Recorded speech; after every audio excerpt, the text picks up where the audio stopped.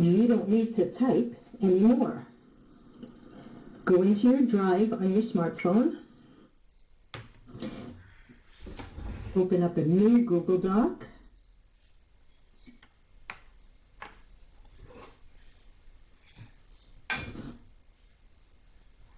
And when the document is loaded, instead of typing, you click on this microphone over here. If you don't have the microphone, be sure that it says voice input.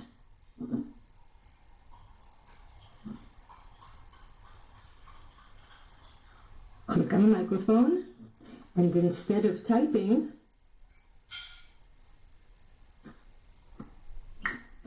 you just have to talk.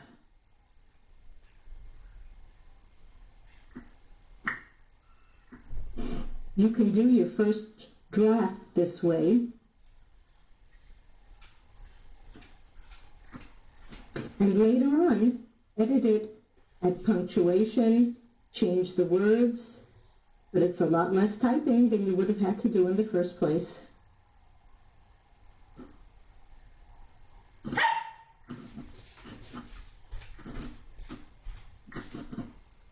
Magic. Ex- exclamation mark.